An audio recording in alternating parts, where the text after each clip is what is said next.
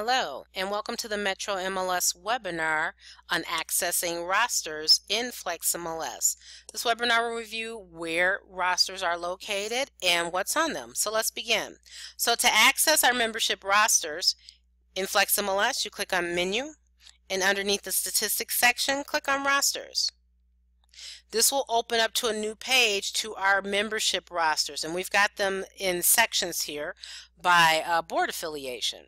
So here you've got Metro MLS members, the Kenosha board members, Sheboygan board, Manitowoc, La Crosse, Lakes area, and Ozaukee. So here you see there's two roster types underneath each board affiliation.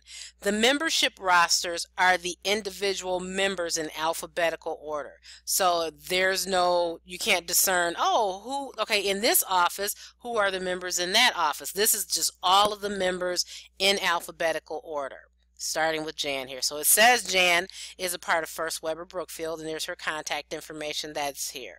Okay, these are again updated monthly. So this one was updated just a couple of days ago. Going to close this. The other one is the office and membership roster, including the license. So what that one looks like, it's alphabetized by office. So if you wanted to locate the members of a particular office, you can scroll down and look for the offices. I'll just stop here at a Anderson Commercial Group.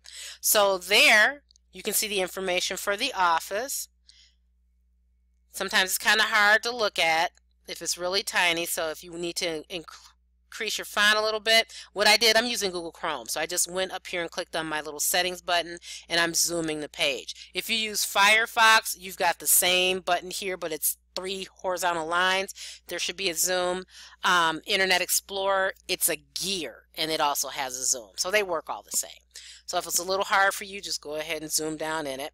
So here it's showing you the license number of the office and then it's showing you the contact information for the office and then the members in that office. So there's the agent code, the MET dot numbers of the member, the member's name, their affiliation. So R is realtor, DM is designated manager.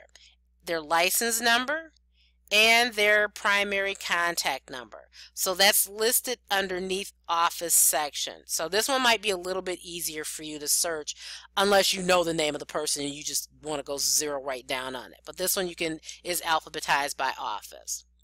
So that's for each of the board offices there. So if you're not, um, if you don't know what affiliation that the person that you're looking for that's here just to save a little bit of time I'm just going back to my flex window you can go into menu and underneath the search section click on office member and then you can quickly search that member's name. So let's say I want to check out John Morris. Hit find there he is. I can select them and I can see his information here and see he's with the Metro board. So I would have found him under the Metro board in the uh, the roster, but this is actually a lot quicker here. So you can see all of his profile information there, the license and the office license. This will conclude our webinar for rosters in FlexMLS.